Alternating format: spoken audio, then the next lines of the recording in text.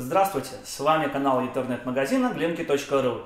Сегодня мы с вами сравним 5 цифровых пианино в районе 70 тысяч рублей. В сравнении примут участие Casio AP460, Kurzweil M210, Yamaha YDP143, Kawai KDP90 и Roland RP102.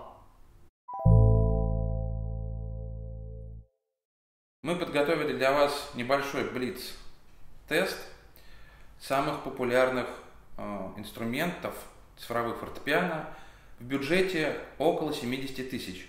Что мы сделали? Мы взяли эти инструменты, сыграли один и тот же музыкальный фрагмент на этих пяти инструментах, чтобы вы просто оценили их звучание без лишних наших комментариев. Пожалуйста, слушаем.